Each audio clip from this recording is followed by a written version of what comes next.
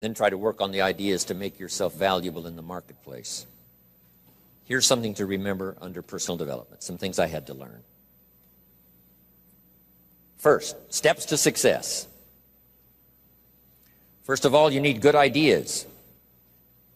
Just decide right now you're going to accelerate your plan for collecting good ideas. Ideas for your life, ideas for your health, ideas for your marriage, your relationships. Ideas that stimulate. One idea sometimes lead to the, leads to the next, needs to the next.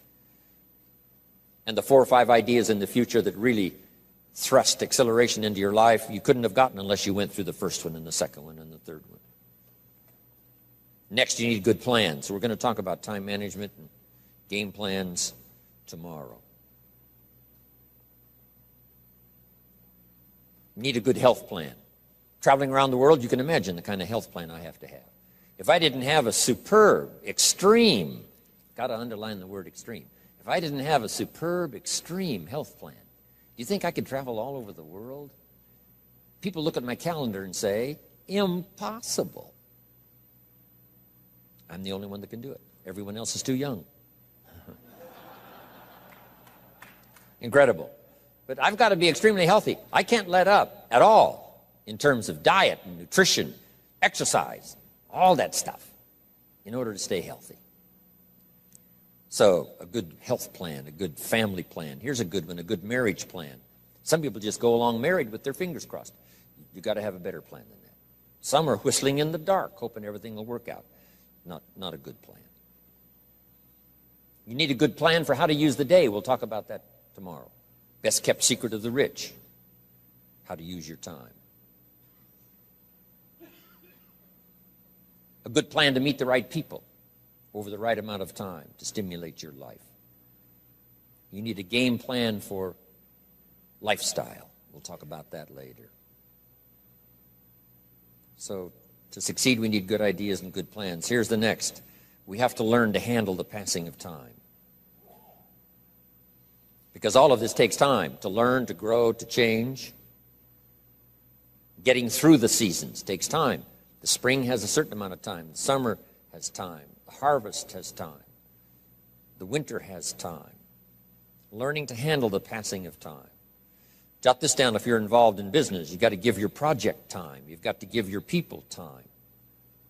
Give people a chance to learn, chance to grow, chance to change. One of the great requirements, especially in such an industrialized, busy, mad, dashing society, and that is to have people patience. First, we exercise it with our children and our family. Getting people to work together, got to have patience, even with your family. If you're involved with independent people, it's, it's a challenge. It's like herding cats, trying to get them to work together. Herding sheep is easy. They very quickly get going the same direction. But try herding cats. It's like your children. Different ages and different personalities and different opinions. To get the family all going the same direction, kind of working together to make things work, I'm telling you, it is a challenge. But if you'll have some patience, you can do it. Now, here's the big one to have patience with yourself. Give yourself time to learn, give yourself time to understand good ideas. Give yourself time to make changes and then grow into those changes. Give yourself time to refine your personality to fit the business, whatever business you're engaged in. In some, you may have to speak up a little stronger, and some, you may have to calm down just a little bit more. Just learn to refine your personality and your temperament to suit. All of us can do that, but it takes, it takes time. Have patience with yourself. We had to do that from the beginning. Learning to tie the shoestrings of your shoes.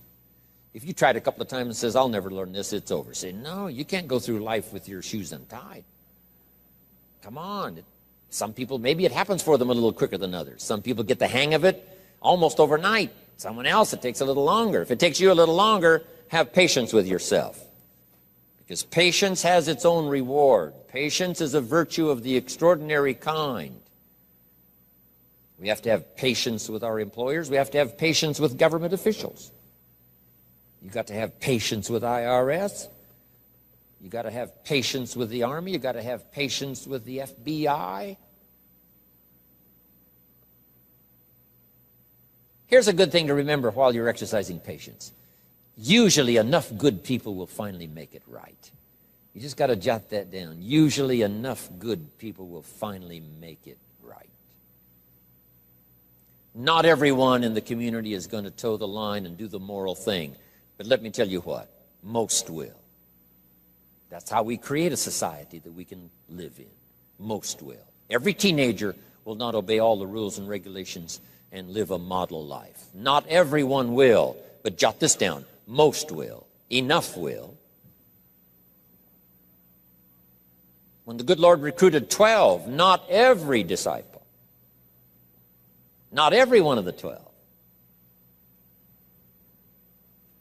but it was enough of the 12 to start a movement that's lasted for 2,000 years. Not everyone, but enough. will.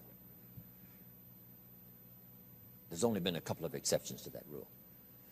One was the story of Sodom and Gomorrah. God was going to destroy Sodom and Gomorrah for their evil ways.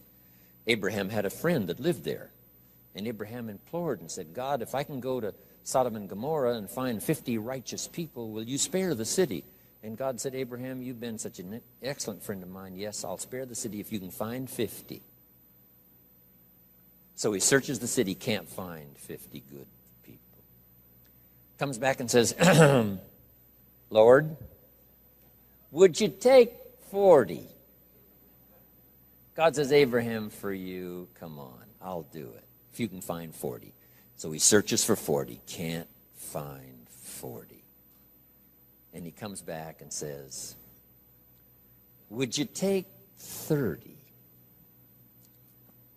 Good Lord says, Abraham, only for you will I reduce it to 30. Can't find 30. Can't find 20. Abraham said, This is my last request. Would you take 10? God said, Only for you, Abraham. So he went searching for 10, and you know the story. Couldn't find 10. That's the exception to the rule. So he said, Abraham, get your friend Lot and his family out of there because the end has come. But that's the exception to the rule. So jot down the general rule. Most will.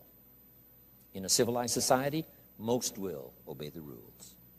In government, most will. Not every senator will, but what? Enough will to build a stable government and a future.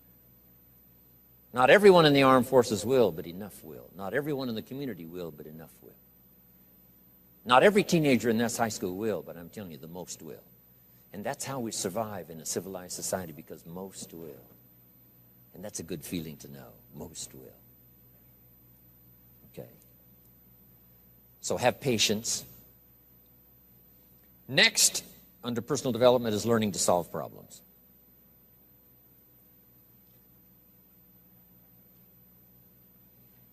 By the way, having patience with the seasons takes time to develop the crop. You can't plant the seed, dig around it in a few days saying, Where is it? Where is it? And you can't really help. All you can do is nourish. Some people plant in the spring, leave in the summer. Just haven't got the patience to last. So, next comes solving problems business problems, family problems, personal problems, financial problems, emotional problems. There's all kinds. Here's a good idea I found in solving problems every once in a while you've got to, I haven't got it here, but I can just describe it for you. Take a piece of paper, put a line down the center of the paper, and on the left side, describe the problem. So just jot that down. A piece of paper in half, on the left side, describe the problem. Sometimes it's a good idea to take a problem out of your head and put it on paper. We'll talk a little bit more tomorrow about how to think on paper. This is one of the ways to think on paper. Our mind usually is too busy sometimes to sort things out. So if you take it out of your mind, put it on paper, what is the problem? And you describe to the best of your ability what the problem is. And then ask this question, is that all of it? Because if you're going to prescribe something for the problem, you need to know what all of it is. When you've got it all listed, on the other side now of the paper is called answers and solutions. Problem on one side, answers and solutions on the other side.